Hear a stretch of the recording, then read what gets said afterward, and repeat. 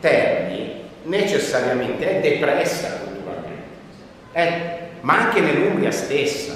Io sono arrivato qua da storico dell'arte, oriundo, milanese, e tra virgolette ho inciampato in questa scoperta straordinaria. Poi siccome parlo di me stesso ne parlo in terza persona, ma ci rendiamo conto che c'è uno studioso che a Terni ha protocollato a livello ministeriale una scoperta che riguarda Leonardo da Vinci.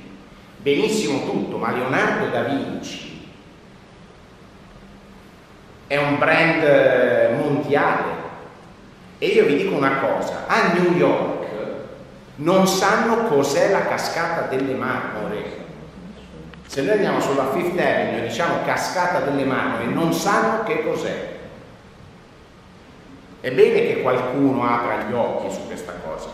Poc'anzi Tiziano Laudadio mi ha fatto vedere una, un articolo sul Messaggero Nazionale che parla delle cascate nazionali e non viene minimamente citata la scoperta di Leonardo, quando il Messaggero ha una redazione... Quando era parte del Creatur, quindi si dimentica questa cioè, al, però vi dico, anche, vi dico anche che Terni, come giustamente diceva l'assessore alla cultura, deve fare sistema ma deve fare sistema davvero dalle scuole al sindaco, dai ragazzi di, di, di, di sei anni fino al sindaco, ma tutti, ma anche giornalisti, ma anche giornalisti, l'altro giorno ci sono giornalisti che hanno guardato ai dettagli non riusciti di un qualcosa che è stato straordinario, invece di evidenziare quello che diceva Vittorio Sgarbi, dicendo la cascata delle marmore può diventare il simbolo dell'Italia, ma stiamo scherzando. Io ve lo posso dire, eh, ci sono troppi campanilismi interni a